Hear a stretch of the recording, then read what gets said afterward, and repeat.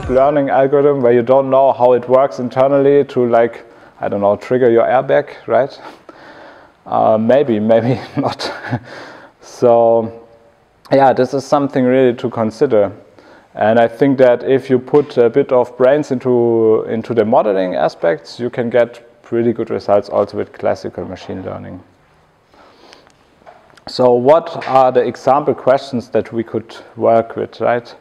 Um, I just want to give you some ideas. So for example, is this movie a romantic comedy or an action movie? I will use this example sometimes in the slides because it's a nice illustration. Then uh, we can ask, yeah, would you survive a trip with the Titanic? So we can calculate like your chance of survival, right? Or how many hours of TV do you watch per day? Or what is the water level um, for the Danube going to be tomorrow? So I think this is sometimes interesting in Passau to know.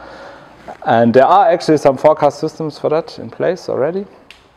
So what are the basic assumptions that I make? So I assume that your data is organized in some kind of table where the rows are the single observations and where the columns are the features. Uh, features are basically the attributes. So for example, for the Titanic dataset, we have the age of a participant, we have the uh, the price that they paid for the ticket, we have the passenger class, and so on. And then basically the rows would be the individual participants. And my the assumption that you usually have to make there is that you have a lot more rows than you have columns. But that also is typically the case because normally you have more observations than you have features. Yeah? And then uh, sometimes I will use the word label in this talk. So the label is an extra column. So basically we have this, I don't know, is this drawing? No. Okay, so no? Sorry. Ah, now it's drawing. So we have like this table, right, where we have the, the observations and we have the features. And then we have a second vector, and for the Titanic, that will just say whether that person died or whether they survived. That's called the label. And this is usually the most costly part about your data because this label is hard to get. But you will need it for supervised learning methods um, in order to learn the model. And then later when, to, when you want to calculate what performance your model has, you, you also uh, need a label because otherwise you don't know whether the model was right or not, right? So, uh, and then the third assumption is that your data, the data that you have available for learning is representative for the underlying process. What I mean by that is that if you have this kind of data, right, and you want to build a model, you probably build a model like this red line. Uh, but then I assume that this is really true and that in like when I now start testing the model, also the data should be in this range like the blue data is, right? And not kind of grow here, yeah, then it would not be representative for for the rest of the data. So the thing is that in the real world, the, one of the problems is that usually you don't know, you cannot guarantee that it's representative, but if you have a large enough sample size, it's fair to assume that it's representative, right? And um, you can, for example, do a t-test and do like statistical testing to ensure that you have enough samples, for example. Um, so then what does our pipeline look like? So a lot of people have this kind of picture in mind that, and I think this is a fallacy, so maybe you disagree. But most people think that, okay, we get the data, it's like 10%. We built our awesome data lake last year, right, with uh, 100,000 euros, and then now we we can focus like 80% of our time to build like the best estimator uh, and then we spend 10% on like, I don't know, visualizing the results and making a nice PowerPoint presentation, right? But in my opinion or in my experience, this does not happen at all like that. So what happens typically is that you spend about 20% of your time at least with the data acquisition, depending on where your data comes from. Then you spend the majority of time, like 40, 50%, but there, there's really no upper limit in pre-processing your data. So the data is never clean. So you have to clean it first, and then you have to, yeah, format the data in a way that is useful to you. Uh, and then you apply an estimator, but then you already lost so much time that you only have 20% time left, right, for your estimator. Uh, then you do some post-processing, and then uh, you finally, you know, have time for your PowerPoint presentation because in the end you want to make sure that you get money for your next project, right? So how does that work? So the data acquisition phase, basically you either have to make measurements yourself. So during my time as a PhD student, I had to do this quite a lot. So after building these like wearable systems, you have to find participants and then write a study protocol and get it approved and then, you know, do the recording. So this is quite time consuming. Sometimes you can find data on the web, so you can write like a nice script that pulls the data from the web or you have a customer that says, hey, I use this SAP product. So for example, right, have this big database in the basement and we have the cleanest data you've ever seen and it's so well organized. And then you go there and it turns out that, yeah, they have a lot of data, but you know, it take you like a week to sort through it. Um, sometimes you have to do some resampling. So sometimes, yeah, for example, if you have electricity measurements once per second, but you want to, I don't know, calculate the yearly average or you want to average it, right? So you have to do resampling and then you store it in a database or a file or whatever you want. So today we use uh, comma separated value files. That's like one of the simplest methods. But if your data set gets bigger and bigger and bigger, yeah, you want to, so there's for example, this uh, HDF store. So it's still a file, but it's like a database in a file. Then you can have a SQLite database, and then I don't know if it gets really big, like get some more fancy database, right? But what's really important is that the quality of your data is really of essence. If your data is not good, then there's no point in in spending the other 80% of the time. Then really spend the time to get proper data so for example here, like this would be the example data set, right? There's like five movies and let's pretend I watched all of them and I counted the number of kisses in the movie and I counted the number of kicks in the movie. And then I looked up on IMDb, is this a romantic comedy or an action movie, right? And I wrote it down. Then this would be my data set, right? That's the assumption. So you have the, the rows, like this, you have the columns, then I would have these two would be my features, right? And this would be my label, right? Okay, so then we go to the pre-processing step. So in the pre-processing step, you spend actually a lot of time looking at the data first to understand how are things distributed, what feature columns that you have are useful. Uh, maybe you have to apply, for example, time windowing. So if you have a time series, you make little windows uh, over time of your data, and then you compute some statistics, for example, mean, median, variance, stuff like that. Or you have to transform your time series into the frequency domain, get some uh, features there, or you transform it with PCA, or you perform some other kind of dimensionality reduction. So for my uh, movie example, it's quite simple. I was quite lucky. I picked the right features. Um, so this is called a scatter plot. So you see here two features, right? One on each axis, and uh, on the y-axis is the number of kisses per movie. On the x-axis is the number of kicks. And then I use the label column to color the points to understand whether these classes are separate, separatable or not. Because in the end, the estimator needs to be able to separate these two classes, right? I want to understand what is this a romantic comedy or is this a action movie? And then in the end, yeah, sometimes you have a lot of features if you generate them automatically with a script. So I did this before with accelerometer data from, from a smartphone. You can generate a lot of statistical features over these windows of time. Then maybe you have like 700 columns, right, in your data set. But then you don't want to confuse your classifier with all this data, so you want to select the relevant ones. So there's also algorithms for that.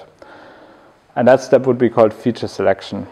Um, so this, I think, is the most important part. So if you have bad features, so if you have bad data, you're going to have bad features. If you have good data and you have bad features, you still don't get a good result. So there you really need to spend your time exploring the data set, understanding what is important and what is not. Yeah.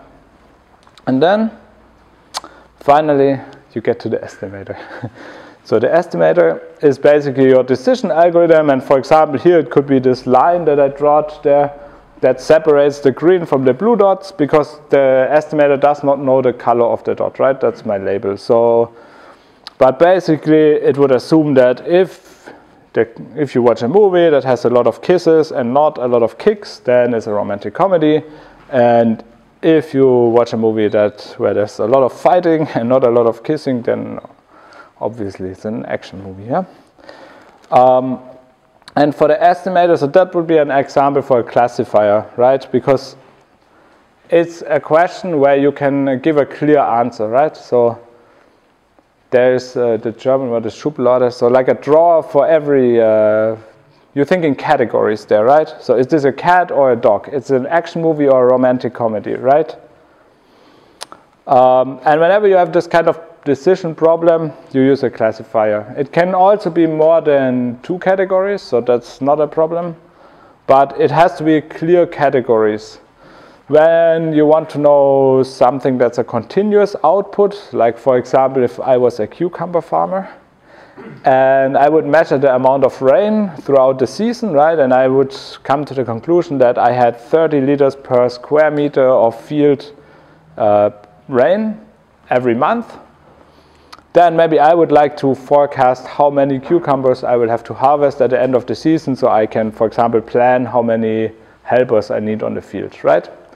That would be a classic regression problem. So whenever there's a continuous output, it's a regression problem. And then there are spotters, they are a bit like classifiers, but they spot really rare events like fall detection, for example, right? Like most of the time, you're hopefully not falling, right? You're like sitting, walking, standing, whatever, but falling should be maybe 0.01% of the time. So this is pretty hard to detect because you have a very unbalanced problem, right? So the classifier would basically say you're falling or you're not falling, and then kind of all the time except for this 0.001% of the time, the classifier would say not falling, not falling, not falling, right? But then it's really hard for, for an algorithm to detect that one time where you're actually falling. It's a bit like the airbag in your car, right? So you want it to trigger if and only if you're in an accident. Yeah, it doesn't help you if it triggers sometimes without an accident, and you definitely don't want it to not trigger when you are in an accident.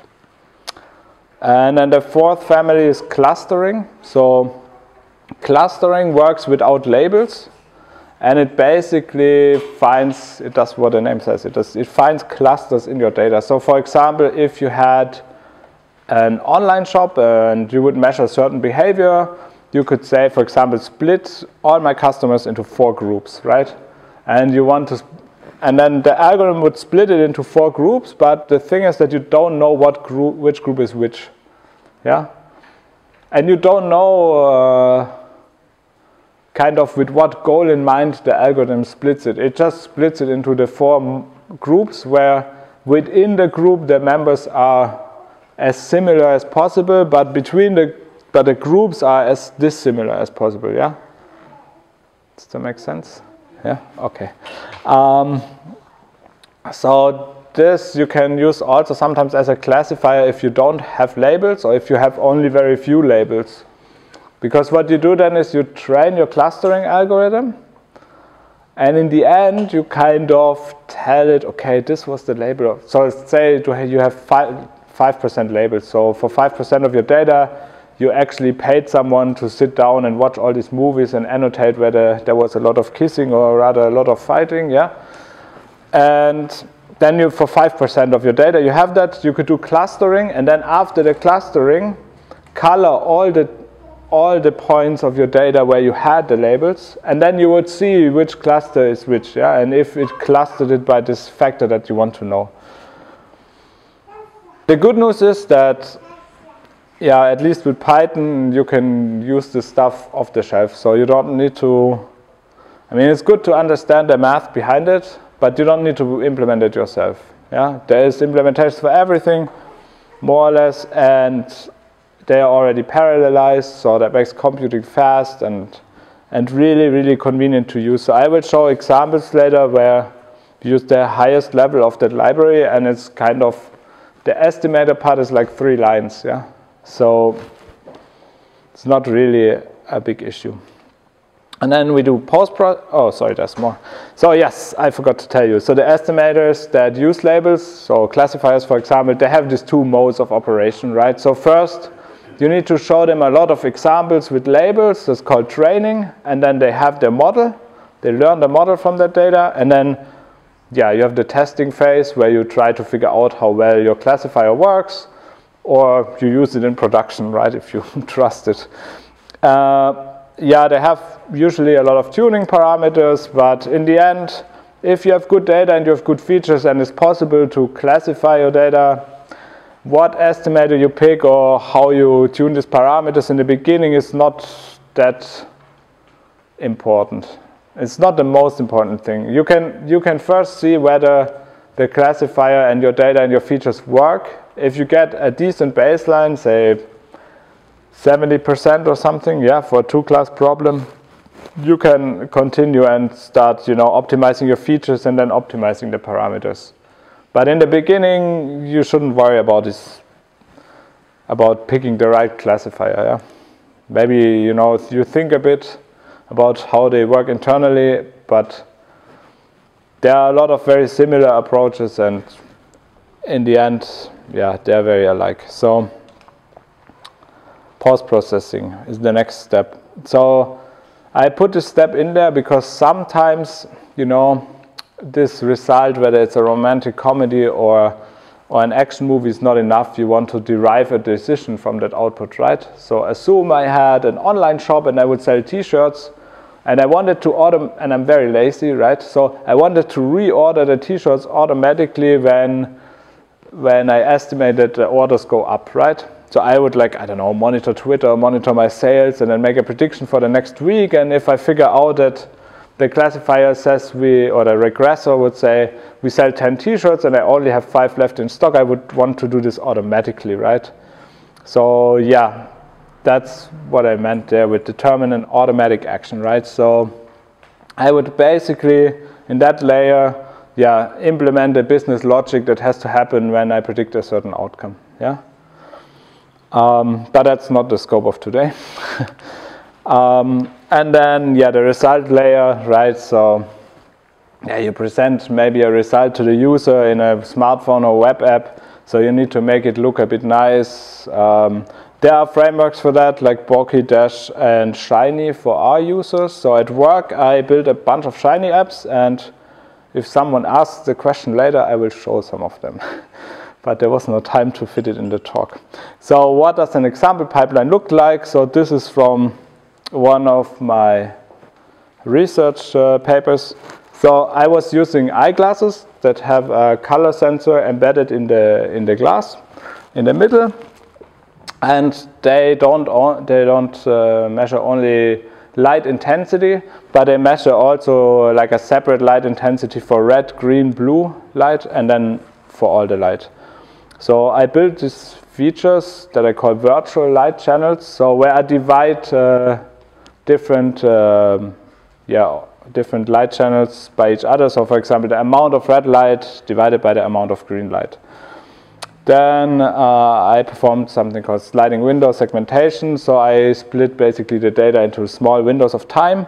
And then I compute um, features for every window, like mean, variance, and a lot of others.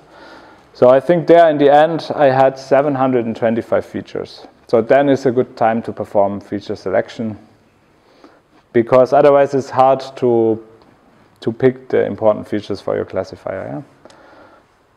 So you, you have to think like you always with every feature you add one one dimension. Yeah. So if you have a graph with three dimensions, that's the end for humans.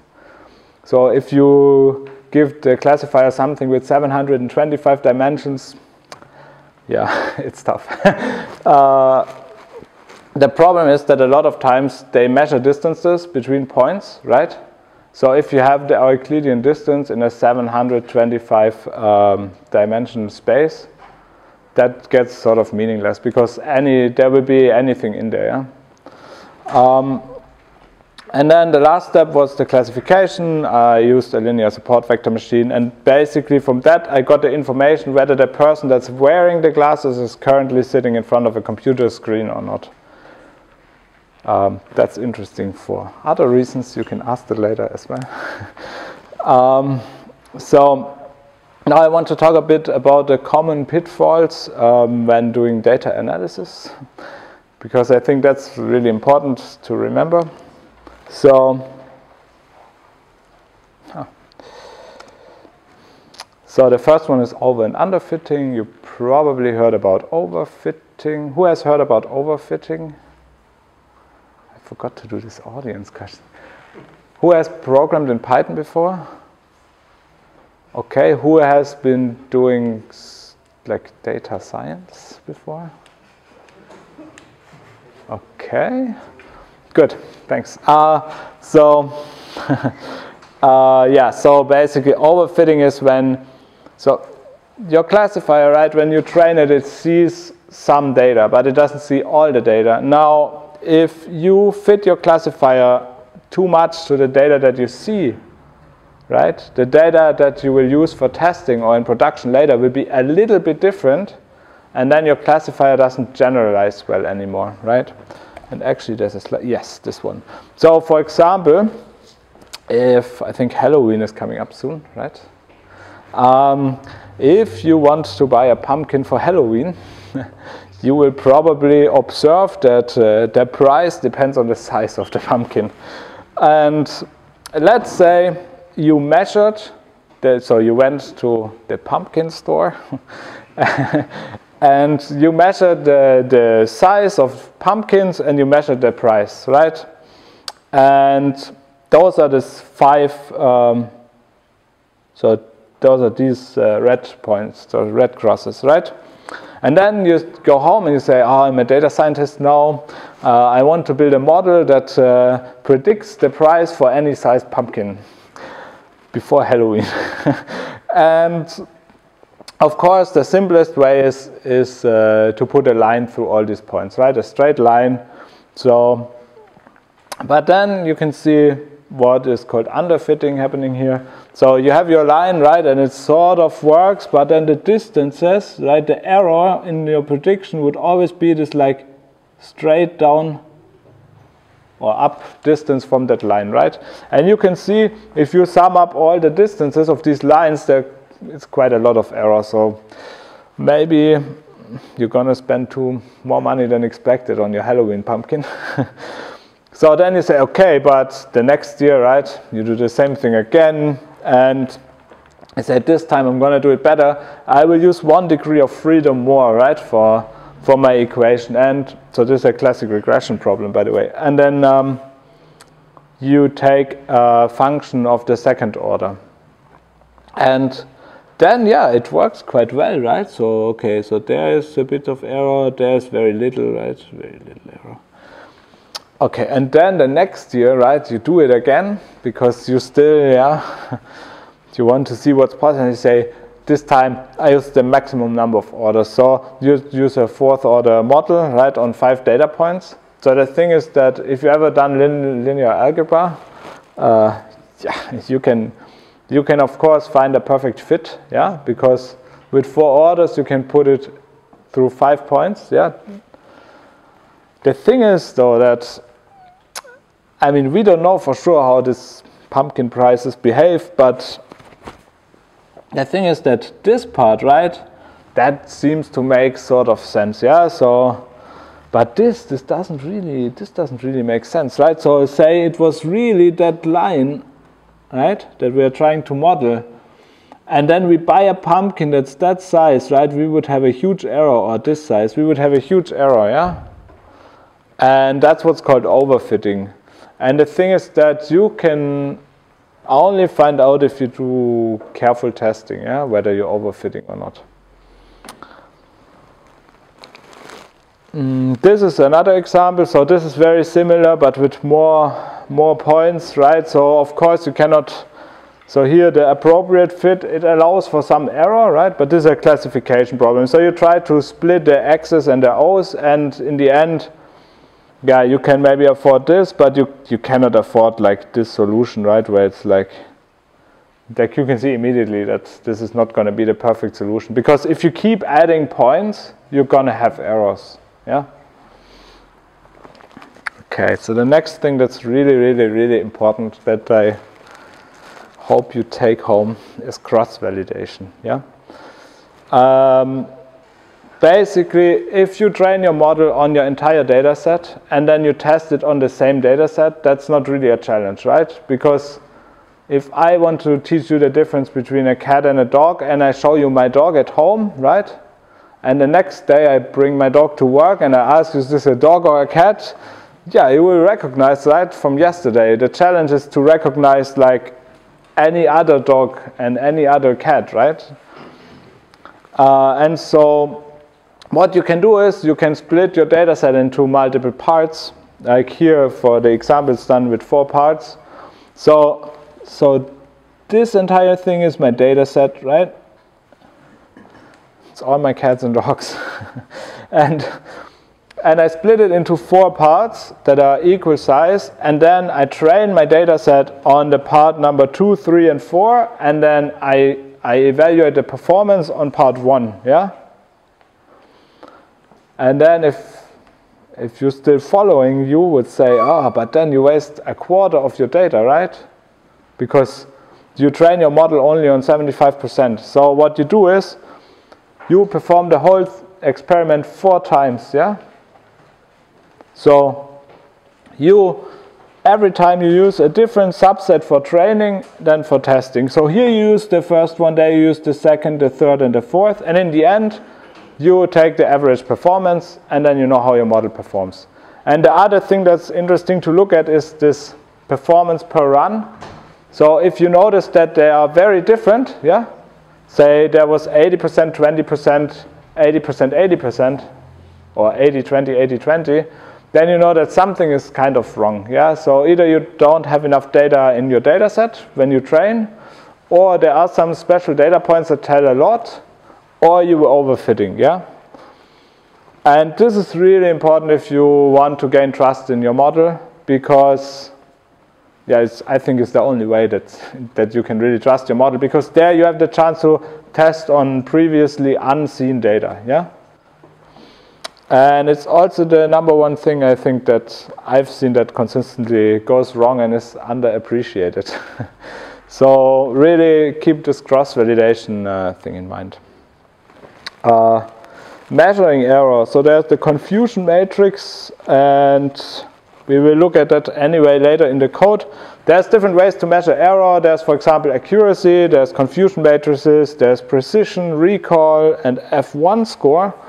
Basically, uh, I think I will explain that in the example, it's easier, and we're running out of time. So the word, word on error metrics, it's really important to pick a right, uh, a good error metric, and by good I don't mean one that produces the best result, yeah? because error metrics are all different and they're all there for a reason. So I assume that I want to do falling detection and 5% of all my data is falling and 95% is not falling, right? And I use accuracy. And I'm smart and lazy. So I build a classifier that will always predict that I'm not falling, right? I would have an accuracy of 95%, right? But my classifier doesn't do anything. It doesn't learn anything from the data. It just returns you're not falling. Yeah. So it's really hard to challenge yourself when you pick the error metric and look maybe also at different error metrics and then decide which one you put in your report or paper or whatever. Then also when you measure the error, you can do this uh, relative or absolute, so like in percent or in whatever unit you're measuring. Uh, that can be really helpful to look at what makes sense for your problem. Yeah. Um, class skewed, by that I mean this thing that so heavily skewed, for example, would be this example where I have 95% not falling and 5% falling, right? So that would be a strong, when there's a strong imbalance, we call that class skew. Um, yeah, don't just compute some mean error if you have multiple samples. Look at the errors for all your participants or all your samples and look also at the extremes and at the, at the distribution of error.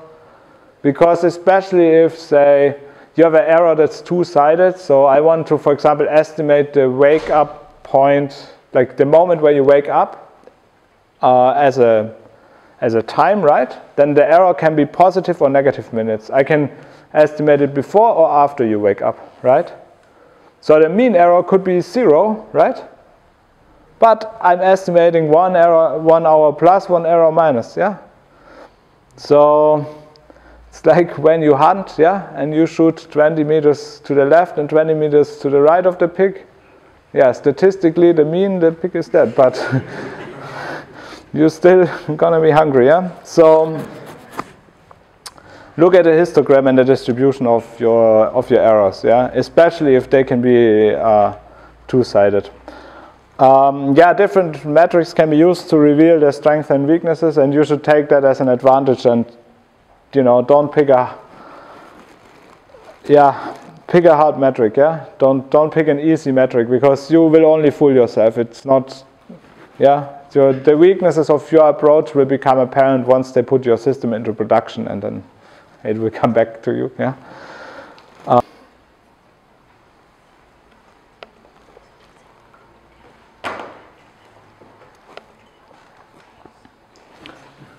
that doesn't work. Okay, let me see. Uh,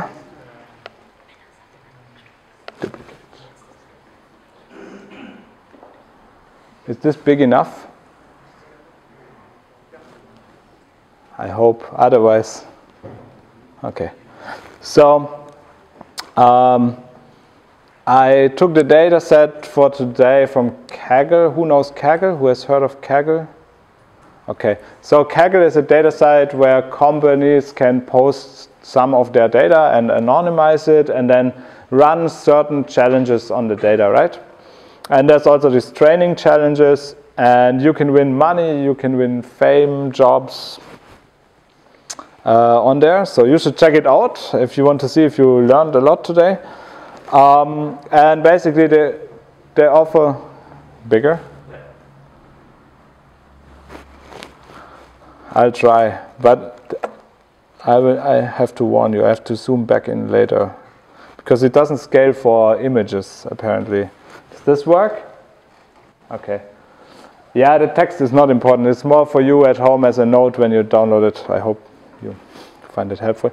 And they basically have this Titanic data set, and I decided for that. Well, it's one of the most well-known data sets for beginners it's easy to figure out what it's about and I would have loved to show you some of my research data sets, but then I can't put the slides and the code and the data set online because, yeah, I can't do that. So in the beginning, we have to we have to import some packages. Um, I have in the slides also a list of important packages and tools for you later that you can check out at home, but just for this here that we use. So pandas is basically, it's a library that takes care of our data, right? That forms this table and it can um, perform certain operations on columns or rows or the entire table.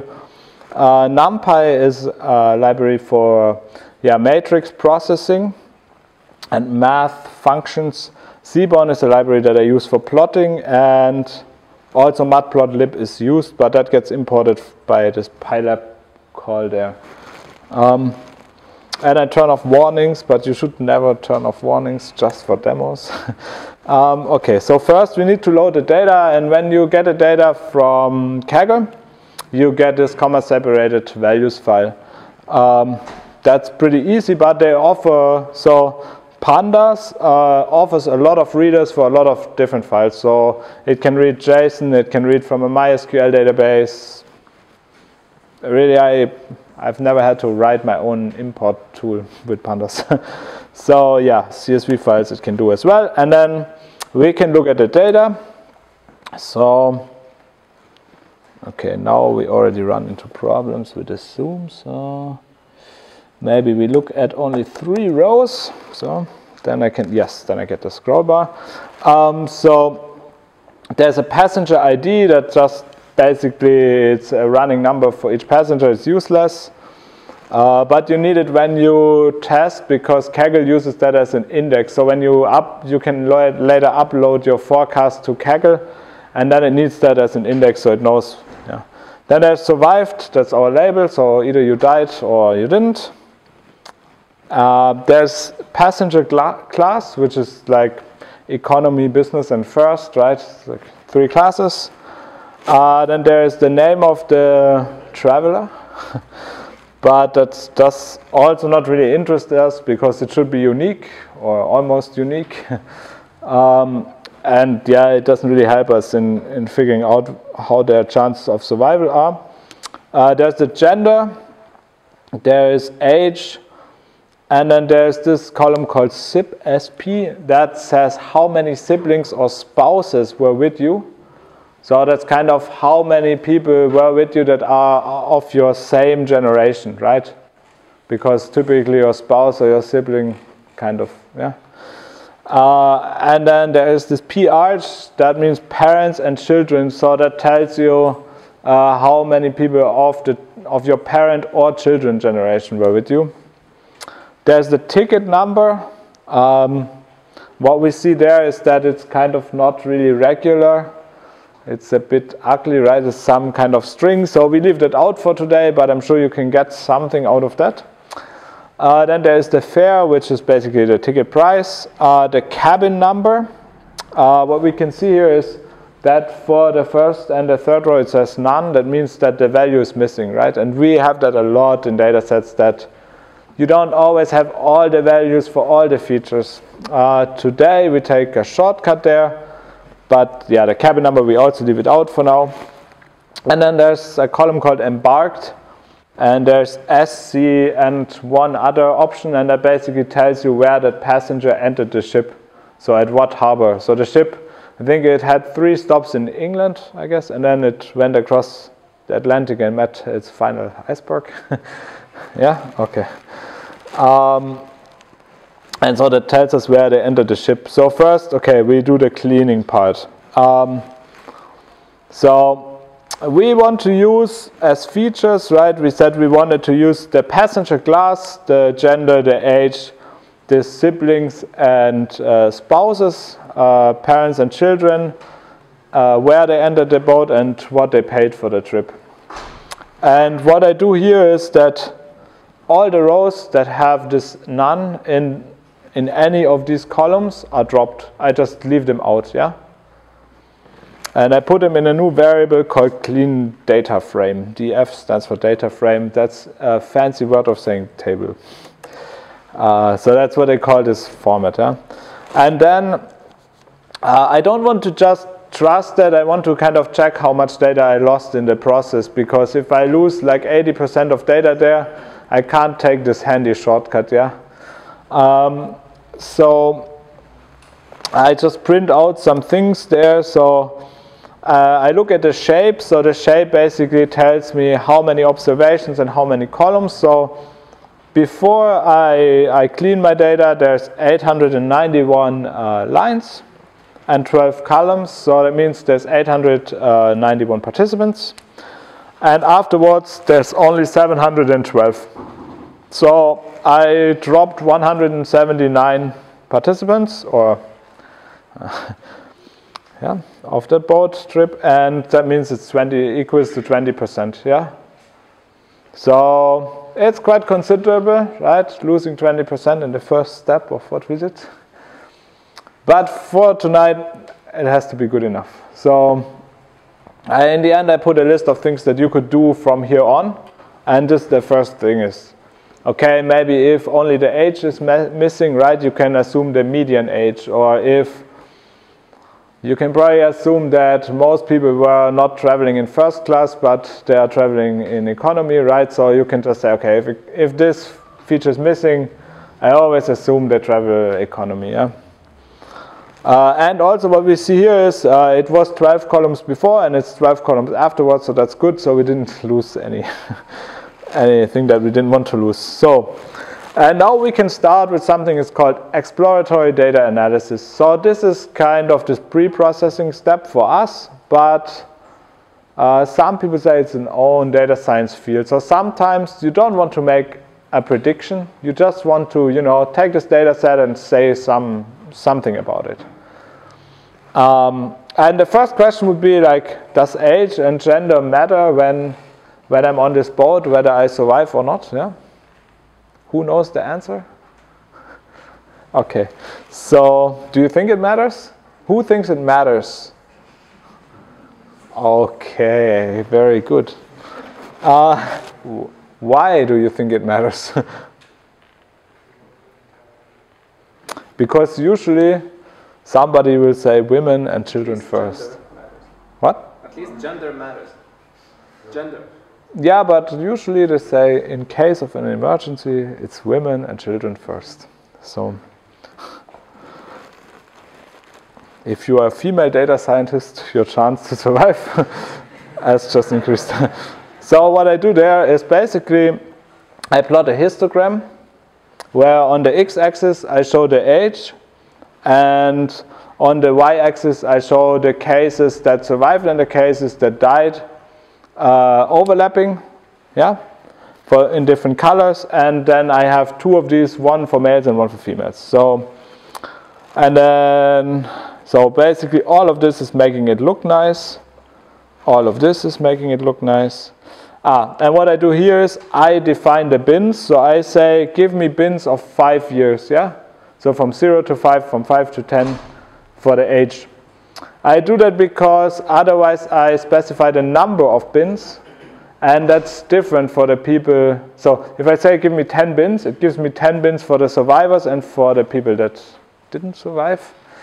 And then the bins are not the same, yeah? So it's better to have the same bins, same size bins, yeah? Um, okay, so let's compute that.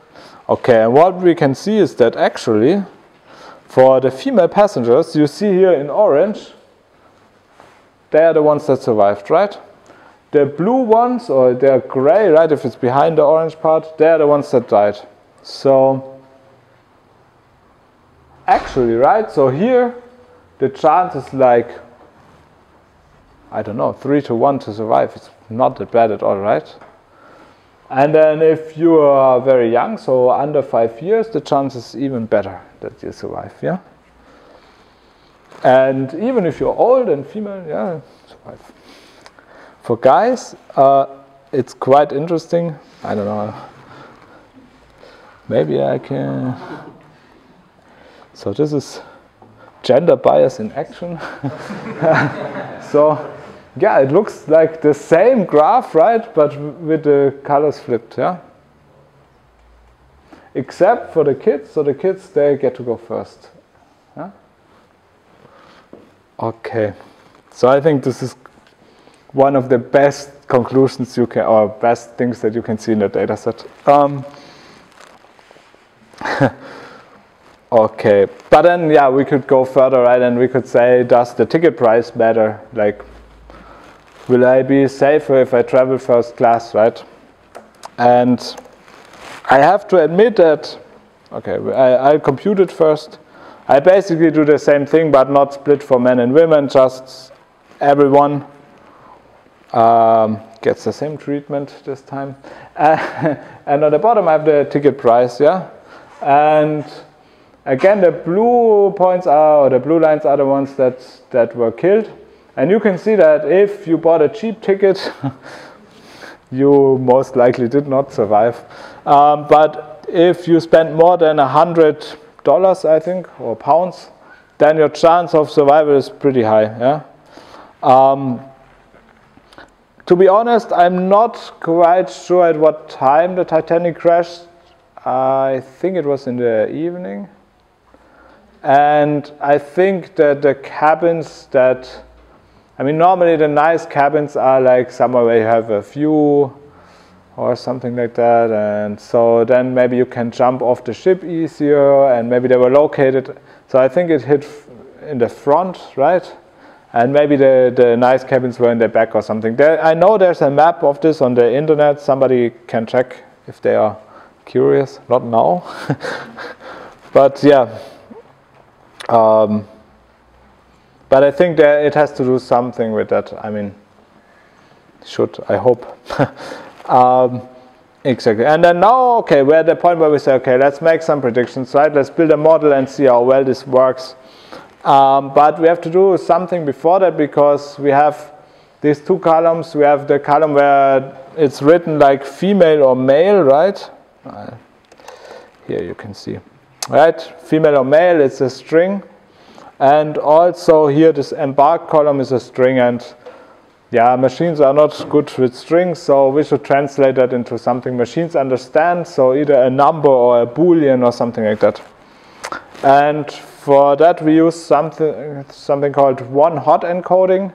So for every option we make a boolean, right? Is this person female? Yes or no? Or is, is the person, uh, did they embark in port C, yes or no, right? So we do that and um, pandas is pretty cool uh, library. They have a function for that that just does it for us. Um, it's called this pd.getDummies, yeah? And I will do that.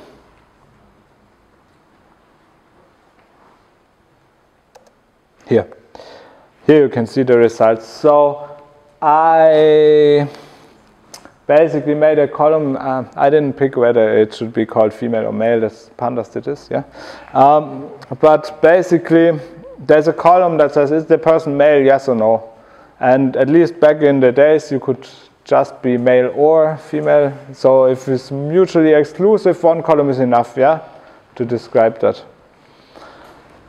And um, and then there are three columns for the port. So also there, right, because I know that I dropped the NAs, I could do this in two columns, right? Because this like two bits are enough to encode these these states, yeah. Um, and then I have the class, the age, siblings, spouses, parents, children, and the fare. And then I also have my my label column, right? So we separated at that point into a variable called x and a variable called y. And x is always our feature matrix, yeah? That's that matrix I was talking about all the way in the beginning of the talk, where I said the rows are the observations and the columns are the features. And then y is the labels, yeah? And they're called x and y because this is the notation used by the library. You can call them features and labels whatever you want. But I followed that notation. And then we need to have a classifier.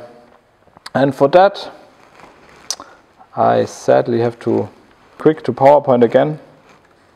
Uh, because I made a few slides on the classifiers we will use. Um, so there's the naive Bayes that basically it implements the Bayes rule. Uh, it uses some kind of distribution to approximate data, and in our case, it uses a Gaussian distribution. And basically, it computes the probability uh, with this formula. This is the most mathematical slide, don't worry. um, and then you do this for every feature and you multiply the probabilities up and you do that for every class and then the class that scores the highest probability wins so here I put an example. Um, you could say, for example, with the ticket price, right? Um, what is the probability that I survived when I paid $80 for my ticket? The probability is the probability that someone else paid $80 for the ticket and survived times the probability of surviving in general, yeah? I think in the Titanic this was like one third, two third or something. It was skewed, but not super heavily skewed, yeah? Like 33 to 66. And then I would have to do the same computation. What's the probability to die if I paid $80 for my ticket? It's the probability that if you paid $80 for your ticket, you died, times the probability that people died. And then I, one of them is going to be bigger, and then I would say you survive or you die. It's just like that. The denominator here, uh, I left out on the bottom because That's the probability for paying $80, right? And it's the same for the surviving and dying case, so it doesn't matter, you can leave it out. Yeah? And then you save a division which saves compute time. So the next kind of classifier that we will use is the decision tree classifier. So there, ah, sorry, I have to, forgot one detail. So with the naive Bayes, the nice thing is that all you need to know about your training data is the mean and the standard deviation if you use a Gaussian function for every feature. So it's very memory efficient. Yeah? With a decision tree, uh, you basically build a decision tree. so say you wanted to figure out whether somebody likes computer games or not, and you would know their age, gender, and occupation. Uh, I didn't construct this example. I don't know why they said that girls don't like computer games. Uh, but okay. So in their data, yeah, if someone was below the age of 15 and male, there was like a strong likelihood in the data that they like computer games. Yeah, so they get this scoring, and then in the end, uh, basically you go down the tree, and in the end you know whether they like computer games or not. Um, I computed a graph like that for the Titanic set. We can look at it in a second. And we will use uh, boosted decision trees. Basically, there an, uh, an ensemble of trees is used. So you don't have one tree, but you have many trees. And each tree gives you a score. And you add them up, and uh, then you get a result. And the hypothesis there is that you have a lot of weak trees, so a lot of trees that don't perform too well. But in the, in the ensemble, they perform very well. And this is actually a pretty good uh, method. Worked a lot for a lot of problems pretty well. Um, and you can imagine, yeah, getting treated by a room full of doctors yeah, that are just good enough not to kill you individually. but in some, if their knowledge is combined, yeah, you can, you know, be well. yeah, recover fast. Yeah. Okay, um, so then that was that was all this. So you made it through the slides part. Let me see here. So okay, now uh, the first thing that we wanted to apply was the Gaussian naive Bayes. Yeah, so all we have to do is import it from this library called uh, scikit-learn. They offer a lot of classifiers, and they also offer things like the accuracy score. Yeah, so for the problem we have here, the accuracy score is pretty good because it's easy to understand. It's only one number. And the data set is not heavily skewed, so I think two thirds, one third, something like that. So it's fair to use the accuracy score. Okay, so we import the scorer and we import the, the classifier. Then all we do is we instantiate the classifier. Um, we train it. They call it fitting, unfortunately. So we train it, and then we predict. Yeah. And for prediction, we only need the features because, of course, we want to know the labels, right? And then uh, we print out the accuracy score. So let's do that. And as you can see, it's really fast, even on this kind of slow computer. Yeah. Uh, but what did we do wrong? We didn't do cross validation. So we don't know if the 77% accuracy is good or not. So let's implement cross-validation. For that, uh, yeah, we implement this cross-validation function called, or we, we import it, called stratified k-fold. Uh, k-fold or n-fold just means you split it um, n or k times, yeah? In our case, four times. And stratified means that if there is two third of the if two third of the people died and one third survived in the entire data set, yeah, here in this entire thing, then every block will resemble that distribution. So every block will have this two third one third distribution. That's important uh, because otherwise you can end up with a block where it's really unbalanced and that can lead to, to issues. On the other hand, if you know that the distribution in your data can change, it's maybe clever to just split it randomly. just uh, as a word of warning, uh, activate this shuffle function. Otherwise, it just goes through the data and splits it. And a lot of times in your data, your data will be sorted by class, yeah? So then you have the first split, all the data from one class, the next split, all the data from another class. Um, and then we import this function called cross-val score. That does the following. Uh, as I said before, it's this very high-level function, right? It basically performs the training step, the prediction step, and uh, the scoring step. Yeah, so it it basically trains the model, predicts on. So it it trains the model here on this block two, three, and four. It predicts on block one, and then it computes the accuracy of the model, and then it goes to the next step. Yeah. And that's that example where I said three lines earlier, but it's more like, yeah, it's three lines if you count that you have to instantiate the estimator, yeah? So you instantiate the estimator, but we did it already here. Uh, then you instantiate the cross-validation method, and then you compute it, yeah? Uh, here is this n jobs attribute um, that uh, just tells uh, how strong you want to parallelize. With minus one, it just takes all the execution units possible. And so let's wait. So it has to do the computation four times, so that takes a bit more time. Okay, so, and what can we see here? First, we see the result for every fold, so 76, 76, 79, 74%. Um, that's pretty good. That means they are kind of balanced, right? So there shouldn't be much underfitting, overfitting, not a lot of variance, variance in the splits. And the mean result is 76%. So yeah, it's 1% worse. Um, maybe with a different split, if we run it again, we get a bit different result. But that's pretty good, right? We already can uh, we already can predict whether you survive the Titanic riot or not with 76% accuracy. Um, then, okay, we can even kind of, you know, define a function that we can do all of this in one line, yeah? So like with the printing of the results, because we want to do that for two different classifiers.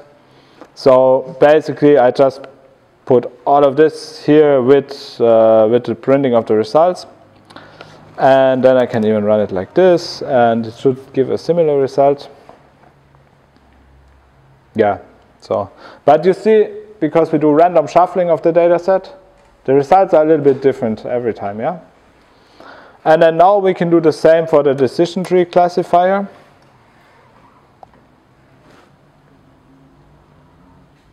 Okay, 75%. okay, so it's a bit worse. But this can be chance, yeah? 1 or 2% can always be chance with this size data. Uh, and with this um, call, you can export it into a, into a dot file, and the dot file you can transform into a PNG. That's what I did here. Uh, so we can actually look at how the classifier makes the decision. Yeah.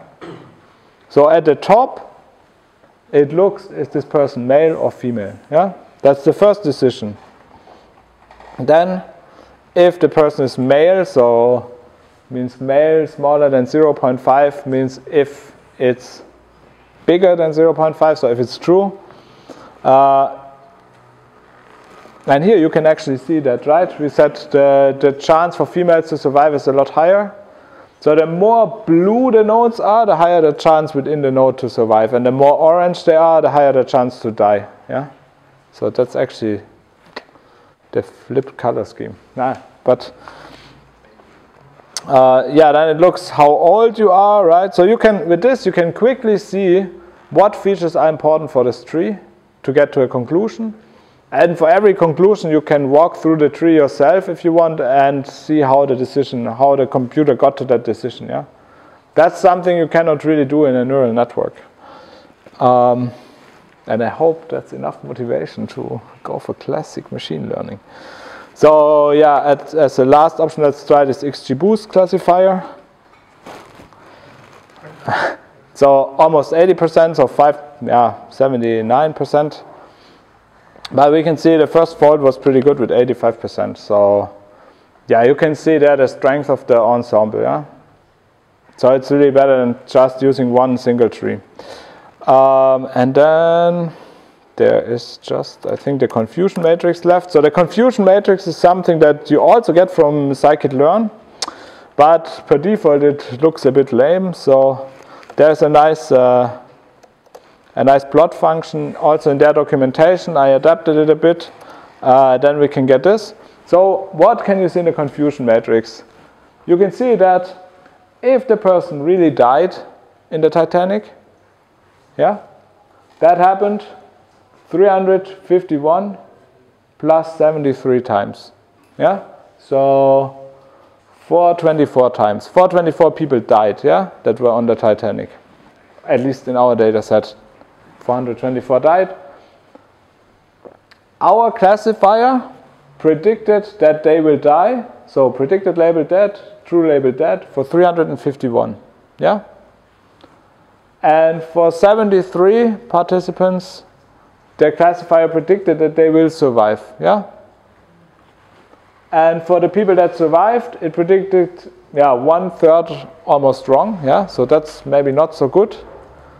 So if I tell you, tell me your data, I put it in there, I tell you you survived, you say, okay, if I survive, I take the trip, because maybe we don't hit the iceberg the second time, right? The thing crashes, there's a, a one in three, or yeah, one to two chance that yeah I gave you the wrong advice. So yeah, there's still room for improvement, but basically there you can always go like from the left is the true label, from the bottom is the predicted label. And this is a nice way to look at problems with a small number of classes, say two, three, four classes, because there nothing is hidden, yeah? You can see all the all the ugly mistakes that your program made, yeah? Whereas with accuracy score, you don't see that. Yeah, you, with accuracy, it can be that this number is really big, this number is really small.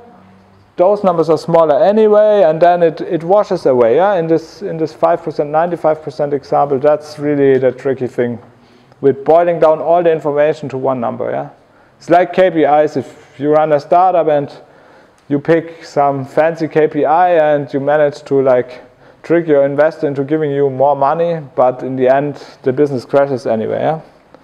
So it's a question whether the investor will figure that out. So this is the part that I talked about earlier. Where can you go from here? So um, that's just a few points. If you want to continue this, you can download it from GitLab and just continue there. Yeah. Um, okay. So.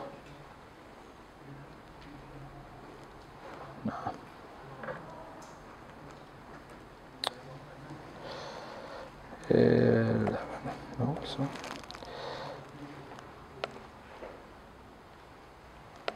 Sorry, I'm a Linux user normally, but for PowerPoint,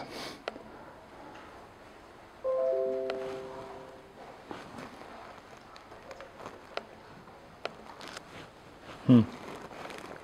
Let me see. Yes. Okay, great. So now there is no free lunch, right? So everything comes with some advertisements. so a startup that I work with currently, and also Sebastian is part of this, um, called Smartricity. They are building a really cool app. Uh, it's about saving energy, and they're currently looking for a front-end developer. So if you have front-end development skills and some free time on your hands, talk to one of the three guys in the picture. Uh, and the other advertisement is I'm currently building a smartphone app that can detect sleep based on your smartphone use and smartphone sensors. So you don't need to interact with the app at all. It's like it's like a sleep tracker in your smartphone. And you don't need to put the smartphone under the pillow or anything like that. And I see that intrigues you. Um, and um, I want to kind, so I did this as a research project. I published a paper on it. There was this this thing built there by some students of mine, and so now I would like to launch it as an app. So we need to recode everything, and I'm kind of looking for people that have experience with Firebase, with Android, yeah, that want want to build this. Um, and I want to start building this this weekend. Um, so I don't know if you know, but there's the incubator, and they're hosting an innovation challenge, like a hackathon. And basically, this is one of the projects that you can work on there. If you say, I don't want, I don't care about sleep, I want to work on smart city stuff, then also that might be interesting. Uh, but you have to be fast. You have to check it out tonight because I think today is the last day where you can sign up. Um, and then this is my email address, Twitter handle, LinkedIn profile if you want to get in touch. Um, and there's also the GitHub, uh, GitLab link. And you can get the slides, the code there. Yeah. And so now I think we can. I will switch this screen to the Twitter thing and see if did anyone tweet. So Twitter is that. Okay, then I take your questions. as well in person if you want. So thanks for your attention. Yeah?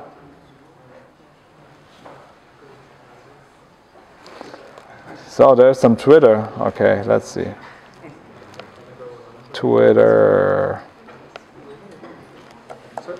So somebody used that hashtag before in 2000. Ah, which learning material would you recommend to newcomers in data science and Python? Um, to me, I learned it organically. I, I started with MATLAB and then we switched to Python because MATLAB was becoming too expensive. Um, and so I had data sets and stuff, but Kaggle is a good resource. So try this Titanic challenge on Kaggle. And because the cool thing is a lot of people wrote blog articles about the challenge. So you can just Google things and read their ideas. Um, then what I use a lot when I program is this documentation for pandas and sklearn and so on. They have really, really, really well documented uh, packages, yeah. and they, for example, with scikit-learn, they give you an example for every classifier. For example, this confusion matrix plot, they give you a complete example with data set and everything. It's pretty simple. Um, what do I recommend to start otherwise? Oh yeah, there's a YouTube channel. I have to look it up. sentdex is the name. I, I will, I don't know, maybe I can I, no, I,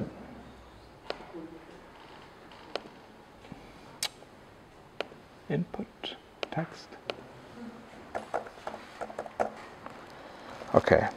Let's see. Ah, you can see live. Cool. Yeah, sentdex. Uh, that comes from sentiment index because this guy built like, you know what sentiment analysis is? So if you look at a lot of tweets and you figure out are they mad or are they happy, something like that. He did that for stocks and he's selling that through an API. But this guy has an insane YouTube amount of YouTube content and he does really everything. He does deep learning. He did a really cool series on deep learning where he would drive motorcycles in GTA 5 with deep learning. Uh, he does stuff on stock analysis with Python. Yeah, really, that guy is pretty good. Um, there's OpenAI. I, I'm not sure if that still exists. It's like one of Elon Musk's side projects where uh, they give you different uh, problems, but it's more about deep learning, I think, as well. Um, what else is good? I think there are a lot of courses, but I don't know. I think uh, the best way to learn it is if you find a problem where you can really apply it, like in your job or in your home or yeah, with some data that you have and really where you really have a motivation to to get something out of the data. Yeah, I think maybe that that would help the most. Yeah. Okay. Any more? Let me see. Did anybody else tweet in the meantime? First time I tried that. Probably last time too. Okay, what I, do I think about TensorFlow? Um, TensorFlow. Uh, yeah, I think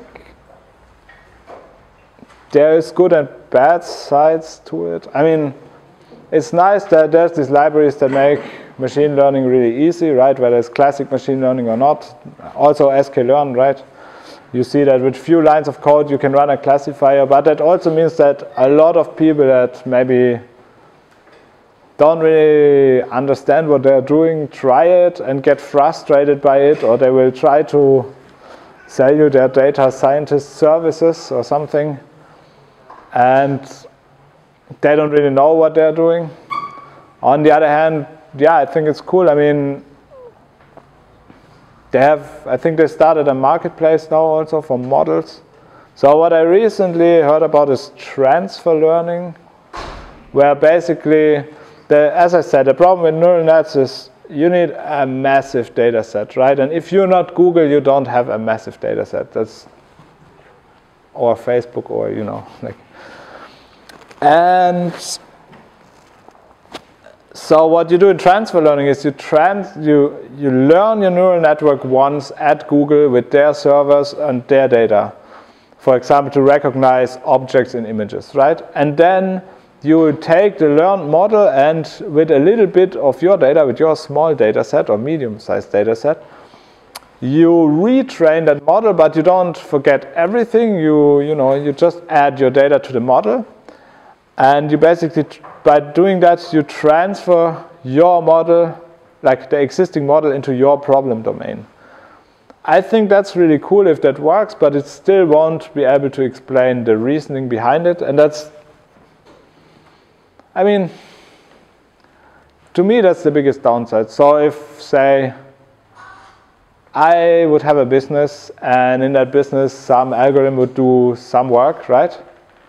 I would not trust an algorithm where I don't understand how it works because how, I mean, then I would have to check it constantly, yeah? And then I can just do the work myself. So then I don't need the algorithm. Or I trust it, but then I need to know, I mean, or I trust it and I don't check up on it, and then it increases efficiency, right? Or I have to do less work or whatever, yeah? And if that's the case, well, then I wouldn't pick a deep learning algorithm. Because if I don't know how it works, just because it got 99.8% accuracy on the test, uh, on, on my data set that I have labeled, right, doesn't mean that it's not going to screw up my business for me tomorrow, yeah? But maybe this is quite a, I'm also biased, yeah, in that sense. But I think there's a lot that you can do with classic machine learning if you have limited size data set and labels are always expensive, so yeah, I think it's you can you can give TensorFlow a chance if you want. um, yeah, I always wanted to try it for a while, but also I think that you need a lot of compute power, so you will need like a decent GPU, I think, to get somewhere. Don't know. Sarah, what? Ah, what do you think is the most upcoming trend in data science? what is the most upcoming trend? That's, I think this transfer learning is, uh, I mean, if they manage to get this transfer learning thing working and they find a way to better explain what's happening inside the neural net, fine. I'll, I'd be happy about that. Um, but I think that people are also getting more worried about privacy and the way that data is split. So if you look now at your data in the cloud, right, on the internet, basically if it's personal data, it's either at Apple or at Google or maybe in one of the Amazon warehouses, right? I'm not talking about Amazon, the shopping website. I'm talking about Amazon, the cloud computing provider, yeah? And so maybe some yeah, maybe more local, local computing stuff gets more interesting again. We'll see what's the, the most upcoming trend. And I think this, this web interfaces are, are nice. So they are for us the the biggest advantage is that we are now at work when we do something for clients. We we don't do powerpoints anymore. we we build web apps, yeah, and then we, we show them the web app and the clients can play with their own data. So they really love that because normally they see PowerPoints all the day.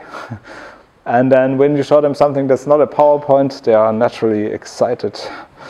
Um, so yeah, other, yeah. Can you use confusion matrices if there are more than two like other than? Uh, yes, I dropped that slide due to timing, but let's see. I have, I have the slide in another slide deck, one second. You can do that, it's no problem. It's just the matrix gets bigger. Um, let me see.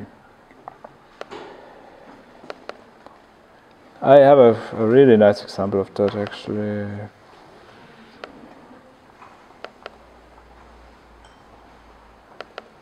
I think it's the stack. Mm. So, yeah. Ah, okay.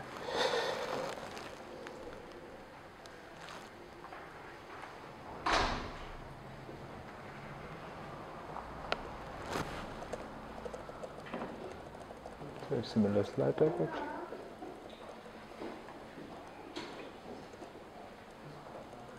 Here. Ah, here. So there basically I used the eyeglasses that I talked about earlier and I recorded a data set and then I tried to figure out what people are doing. Yeah. So here is a good example also that labels are expensive because basically we had a student following the person all day long. I'm not kidding.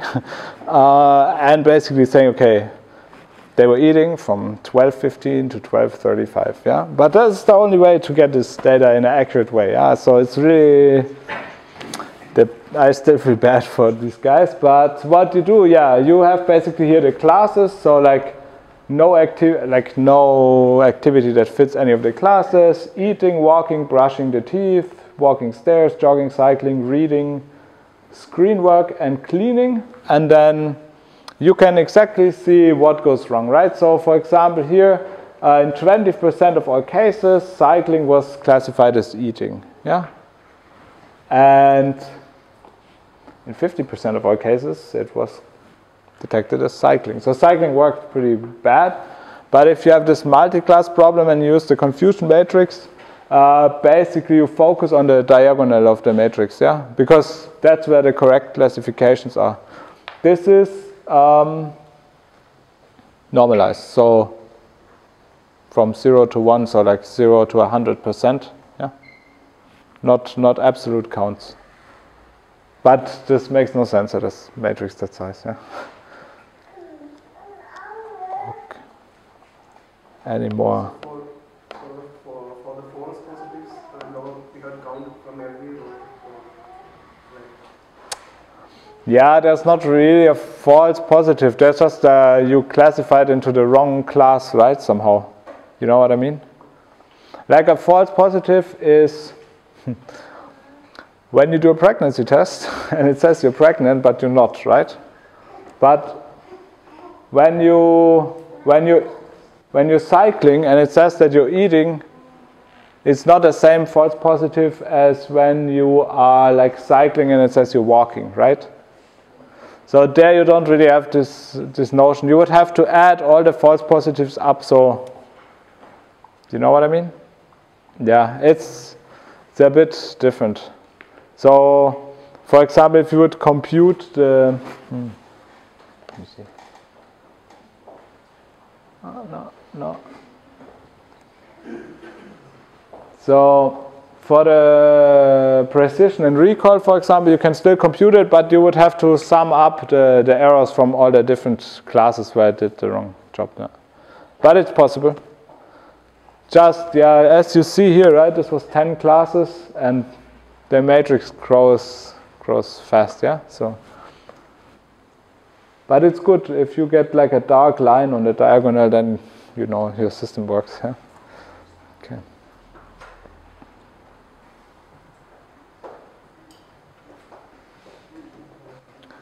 questions, more questions. Okay. If there are no more questions on Twitter, and you have no more questions, no. So no more Twitter surveys and talks then. Um, no more questions? Because then Sebastian gave me some slides. Hmm. Yes, okay, so No, thank you very much. thanks.